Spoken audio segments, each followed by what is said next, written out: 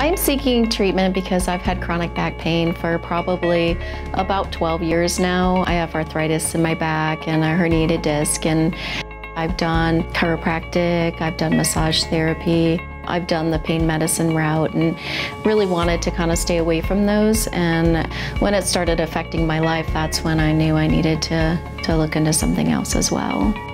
I feel like dry needling works better for me because I notice an immediate um, relaxation in that trigger point where with massage therapy I would go and do an hour, hour and a half long massage and I would come out and I would still feel like I couldn't get total relief. I've had a uh, radio frequency ablation before where they go in and cauterize the nerve um, to kind of help with back pain and although that was successful, that was very painful. So um, this to me is not. Everybody has a different tolerance to needles. It doesn't bother me and when you live with chronic pain, the relief is so much better than the insertion of the needle.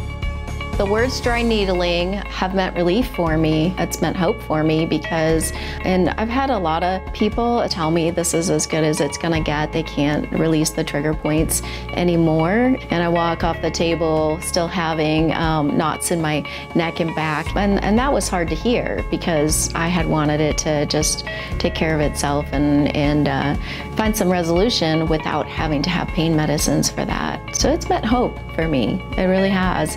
Definitely my loved ones have seen a difference, especially my husband in the pocketbook sense. We were paying out of pocket for massages, so it's really helped. And I'm actually getting into, back into, I should say, the things that I've gotten away from because of the back pain. I'm getting into gardening again and, and um, started playing volleyball again. And, and so I'm very excited about that. Uh, I feel like I'm young and I, I still have a lot of life to live. And I can run with my grandson and, and, um, and he still beats me, but I can still try and keep up with him, and I love that.